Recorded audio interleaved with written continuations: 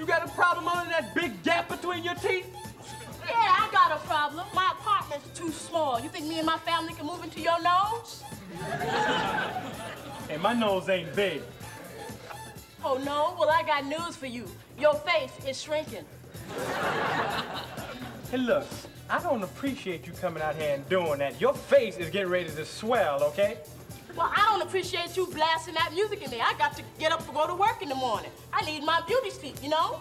Oh, yeah, you do need your beauty sleep. In fact, you should be hibernating because I think you need about three or four months worth of beauty sleep. Well, personally, I don't care what you think, because I got a man in here who knows I look good. Your man think you look good? Yeah. Well, who is it, Ray Charles? Stevie Listen, Wonder? listen, Longstreet? Listen, you John time minimum wage making welfare taking loser. How'd you like to spend the night out here with your face in this step? What?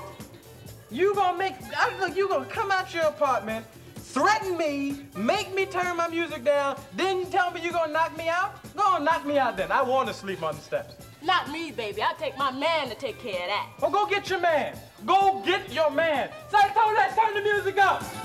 Turn the music all the way up. We're going to get her man. yeah,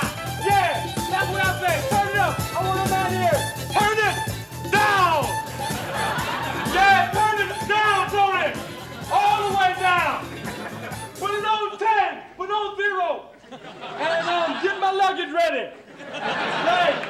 Yeah, um, uh, brother, uh, you know, I was, I was thinking, you know, um, you, you have a beautiful lady, man, first of all, and I hope we weren't doing anything to upset y'all and wake you up. I know she needs to sleep, and I hope this, this, I hope you no more troubles out of me.